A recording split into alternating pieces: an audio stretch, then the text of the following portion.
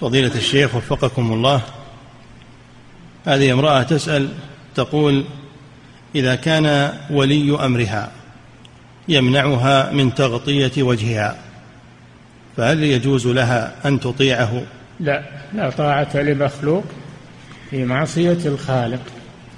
إن رضيها زوجها وهي محجبة فله ذلك وما رضيها يطلقها ويرزقها. الله أحسن نعم.